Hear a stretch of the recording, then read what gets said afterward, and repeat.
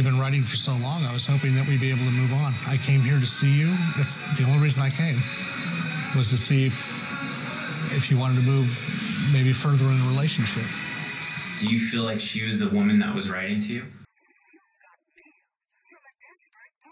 Guys, I'd like you to meet my friend Bobby. Bobby's got a cat, a ray gun collection, that sweet PS3 3D TV setup that was really hot in late 2011. Oh yeah, and he's got a $10,000 deficit in his bank account from sending emails to some random Ukrainian chick. So for some context here, our boy Bobby, just like the rest of us, was having trouble on the traditional dating websites like eHarmony, so he sought out a certain website called aforeignaffair.com where they set you up with Ukrainian chicks and you get to send them emails for $10 a pop. $10 to send an email, $10 to receive an email because you're using their translator service. And sure, you could use Google Translate, but they're setting you up with these hot chicks, so why are you going to bite the hand that feeds? I'll let Bobby explain where it goes from there. And I'm down to one.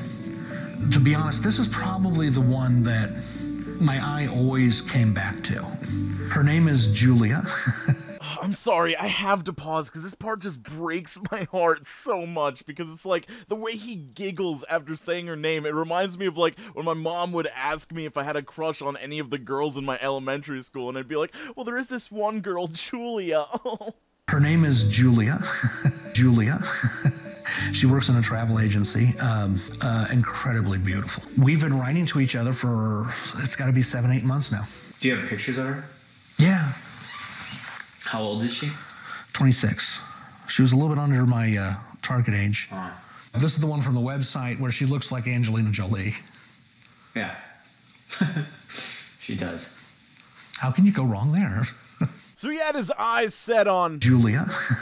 based mostly off of her looks because yeah they had conversations through email but when you go to the foreign affair website or aforeignaffair.com you can search by age weight and then you go in there and it's pretty much a meat market. There's no like oh enter things that you're interested in or enter your goals for life. It's just look at all these pictures of women in your age and weight range so he hops on a plane to Kiev to attend this ice cream social type event with a bunch of foreign guys and Ukrainian women. We'll meet at the social.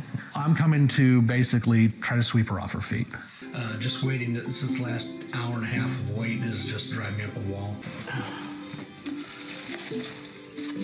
Something a little special. All the other guys, they go out and buy roses. I wanted to get something that would last, hopefully as long as the relationship. So, one gold rose. You know why normal guys go with a normal rose, Bobby? Because they're trying to avoid being super over the top like this. But this is what sets Bobby apart. This is what makes Bobby not like other guys. Hopefully, it gets through this and everything will be okay. I'll be either really happy or uh, really sad. Bobby, I'm going to have to politely ask you to stop. Like, why? It's just really, it's statements like this that make me wonder, like, why you got yourself in this situation where everything comes down to the ice cream social and this chick. You spent $10,000 just emailing one girl that you haven't talked to on the phone, you haven't video chatted with. Like, ugh. All right, but let's not get too far ahead of ourselves. Let's just see what happens at the social. He's still got a chance. Let's find out if he'll either really happy or uh, really sad. Really happy or uh, really sad. This is like prom for old guys. That's the way I'm looking at it, which is nice since I never went to proms.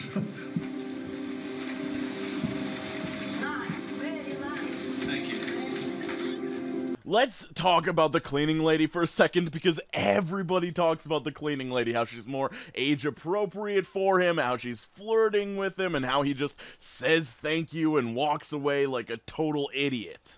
Oh, Bobby, yo, what about this cleaning girl? What's going on here? She looks nice as hell. Go, go walk over there, check her out, see what's up. Maybe she'll go to the social. There's a nice, lovely woman right in front of you, calling you nice, being like, damn. Bobby, you looking good. And is she more age appropriate for Bobby? Definitely. Is she pretty? Definitely. She's really cute, I'm not gonna lie. But, like, is this a service person paying a customer a compliment? I think she's just being polite. I don't think she's actually flirting with him. If you've ever worked in the service industry, you'll just say stuff like this all the time. It doesn't have any meaning. And Bobby, you gotta think about it from Bobby's perspective. He has been talking to this girl for seven or eight months. He's got his sights set on her. He doesn't want to be infidelitous with this very nice looking cleaning lady. I'm sort of hoping to have a table off by ourselves the whole night, and we'll have a translator because she doesn't speak English. I don't do, do Russian.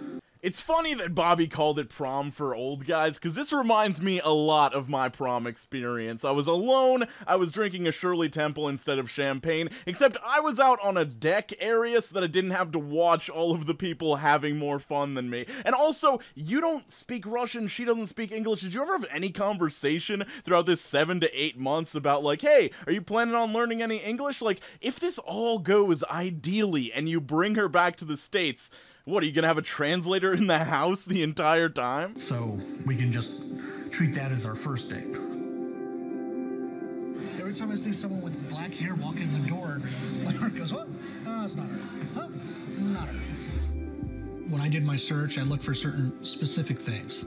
I like women that have black hair, blue eyes, people that are smart, that are independent, someone that's gonna make me wanna be a better me. I love how the director, whoever's putting this together, knows exactly what they're doing. They're like panning around the room, showing women with black hair and blue eyes, being like, Bobby, maybe you should mingle with some of the women who are actually there right now, dude. Your climactic moment is going to happen any minute. Yeah, I'm hoping. When the guys come over, uh, they have their own set of expectations, which may be on target and may not be on target. But They think, oh, gee, I've been writing to uh, Irina, Svetlana, Elena. I've been writing to all these women, and they write to me, and I wrote to them. I told them I was coming over, and maybe that works, and maybe that doesn't. This guy is letting us see behind the curtain so hardcore right now. He should have given Bobby a talk before this mixer event, being like, I know you've been messaging this one chick, but you might want to mix with some of these wicked attractive women in the room right now, because she might not come through. They don't always come through.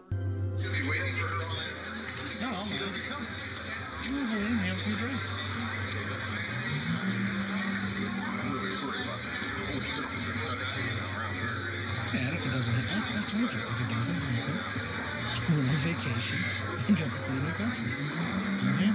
I love how Bobby tries to convince John, the organizer, that he's happy either way, and John's like, yeah, I don't know if you should be happy. You spent thousands and thousands of dollars. You could have gone on a much longer vacation for much cheaper, dude. I thought she was going to show up.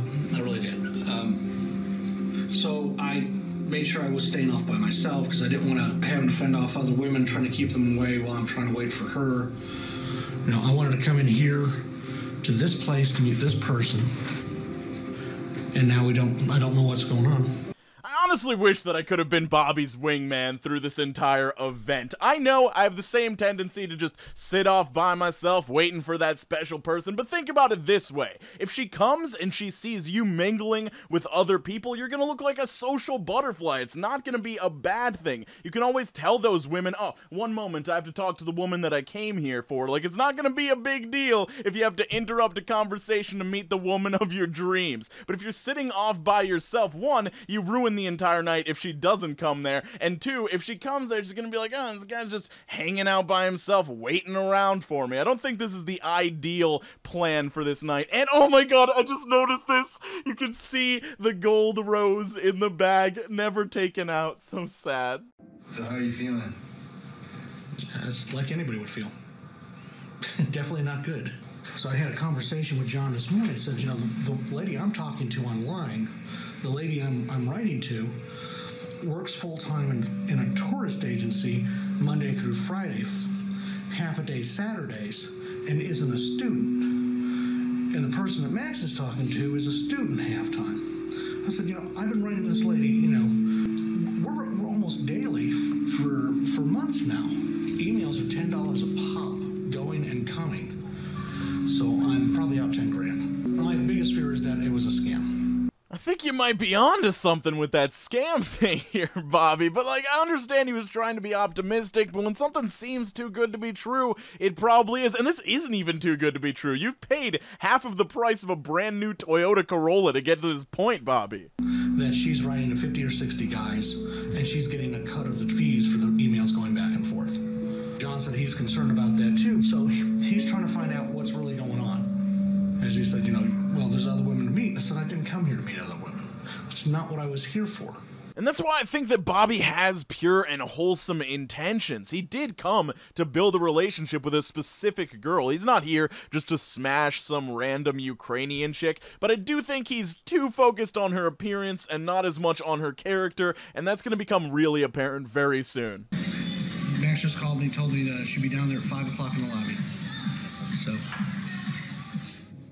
They finally got a hold of uh, Julia, and she is supposed to be coming here in about half an hour, hour. Uh, Hey Bobby, can I just make one small suggestion? Can you maybe ditch the supermarket bag that contains the gold rose box? I feel like the box is good enough protection on its own and it just makes it seem much less classy. for our first date. I have to go in there approaching it like she's honest and, and all that, and hoping that I'm not being screwed. It was at this moment Jackson knew. He fucked how, up. How do you know? How do you tell? We've been writing for about seven, eight months now. I was wondering what your feeling is on the relationship. Was the Shaska public? What do you think? Um, we've been writing for so long, I was hoping that we'd be able to move on. I came here to see you. That's the only reason I came, was to see if if you wanted to move maybe further in a relationship. Do you feel like she was the woman that was writing to you? Is it just me, or does she look like she's genuinely about to cry in this moment? Like, I feel like she is extremely overwhelmed. I think she has never even spoken to Bobby before. My theory is that the translator was the one writing the emails this entire time. Do you feel like she was the woman that was writing to you? Uh, I had some questions and doubts um, Translation This is definitely not the person he was writing to. because the pictures I showed her were pictures of things that she's seen before: the house, the yard, my work. If she wasn't the one writing the letters, does it matter? It would have, um, and it probably should. But what I don't want to do is for me to overthink and cause the problem that isn't really there. Because honestly, I, I can't get this girl out of my mind.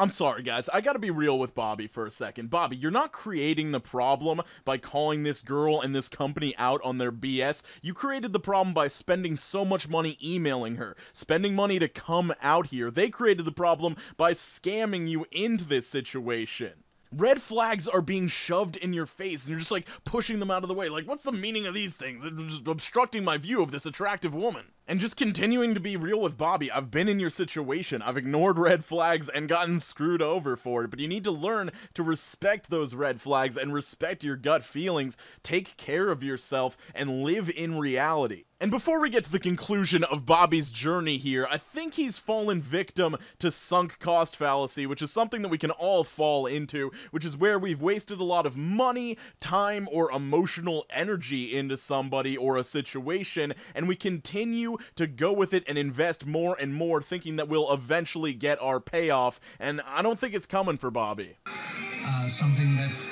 special and beautiful and unique shouldn't be alone. They should come in pairs. And I was hoping I may not be, you know, beautiful and that unique, but I'm hoping that maybe we could be a pair. Bobby, one thing that I've learned over the years is even though self deprecation might be a defense mechanism, it's not super attractive to women, and you're definitely not not beautiful. And from what we've seen, you seem like a pretty unique guy, so just be confident. you, are, you are very inspiring.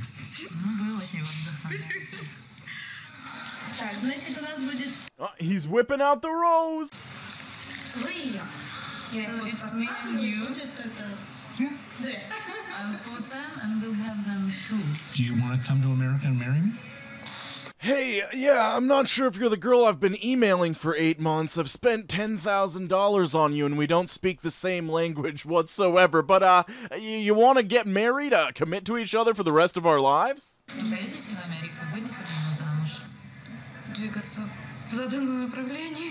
Let's move into this direction.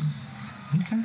Did you see the confidence from Bobby there? She says yes, and he's just like, mm, okay, yeah, sounds good. He's chilling out now. He's showing some confidence. So, what was your impressions of tonight?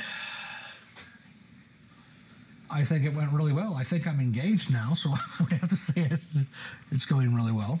Did you see the change in Bobby's expression? He's like, I think I'm engaged now, and he does a big smile, and then he says, So I think it's going really well, and then he gets all somber. Like, I'm gonna show it in slow motion so you can actually see it happening.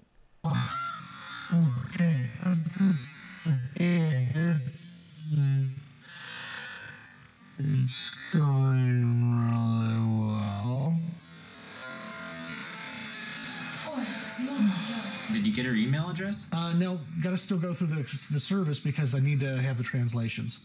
So we'll go through that. Uh, I can ask her through that if she wants to give me her email address. I don't know if she has one. Uh, didn't even think to ask. You didn't, you didn't get her e- It's not a good sign, Bobby. I'm engaged.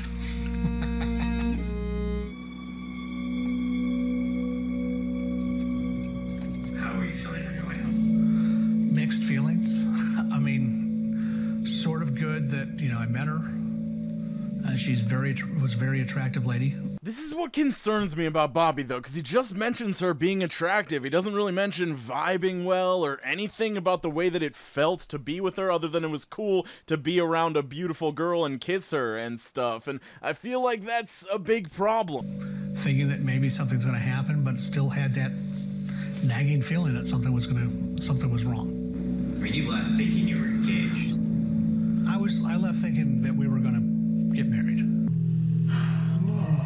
When I got back, we were corresponding very very frequently, but every time I would ask her something personal, she just never answered the question. So it really started bothering me. Eventually, I just gave up. I said, "Listen, you either got to answer the questions, or that's it. I'm done. I don't want to talk to you anymore." So she sent me one final letter saying that she was hurt. You know, I wasn't the person she thought I was. I was like, "Well, okay."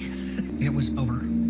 Okay, good for you, Bobby. You know, it took you a long time to finally do it, but you finally put your foot down. I think you might actually be growing here. So Bobby thinks that he was scammed in this situation, which I feel is pretty accurate. They decided to remove her from the website, saying that she was the problem, saying that they did nothing wrong whatsoever. But I honestly think that, in my personal opinion, not trying to slander or defame anybody, but that this is the system that a foreign affair works on. I believe that there are some real girls on the website that are actually interested in getting in relationships with people, and then I think there are other girls whose pictures are just used to entice these people. So Bobby is back home, living his best life, playing some Ratchet and Clank on that sweet PS3 3D TV. After all this, I got depressed for a while. Uh, it really, it definitely affected me. I can totally imagine that would be really hard to go through. I mean, imagine arriving home, like waking up the next day after this trip and realizing that you just wasted so much money, time, and emotional energy. Finally worked through it. Pretty much stopped trying to date anything like that. I think that is a really good idea, Bobby. I'm glad that you like settled down and you're like, maybe I need to work on myself right now, figure out what I'm doing, maybe try a different strategy. I think it's a really good idea that you've stopped dating. Until just recently, I figured I might try it one more time. Wait, wait, no, Bobby, that's the that's the foreign affair website. That's the website that scammed you for ten thousand dollars. Don't go back there. This is her, huh? Yeah, this is Vika. Bobby, this is another 27 year old model on the website that scammed you. Do anything but this. Do, do you ever just feel like you're just writing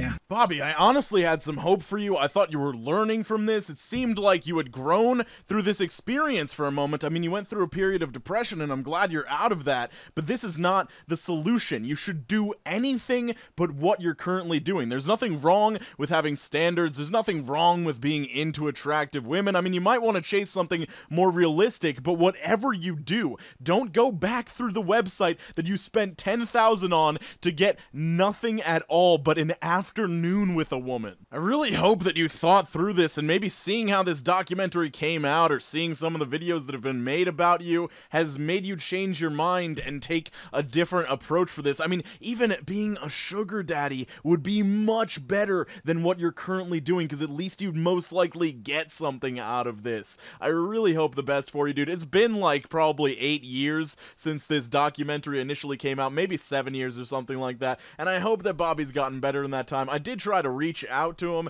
and I, I couldn't manage to get in contact with him, so we won't get a word from Bobby, but I hope he's in a better place, and I hope you guys can all learn from his story. Skate on to the best of your abilities, guys. Make sure you're drinking more water, and since we can't help Bobby, just learn from Bobby and don't get yourself into a situation like this.